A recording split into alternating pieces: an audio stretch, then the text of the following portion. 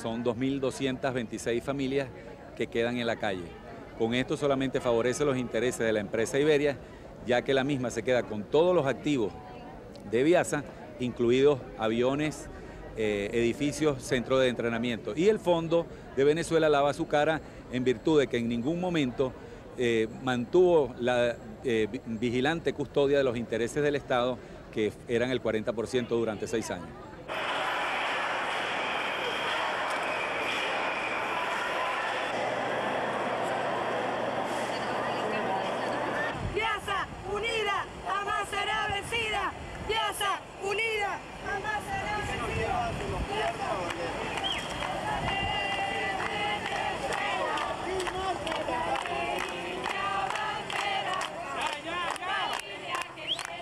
Significa una, un dolor, una traición,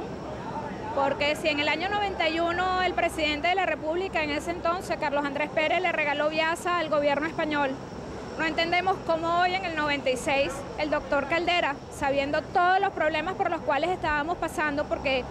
en muchas veces que fue nuestro pasajero de honor, se le comentaban los problemas que teníamos, cómo hoy se lo entrega a Iberia.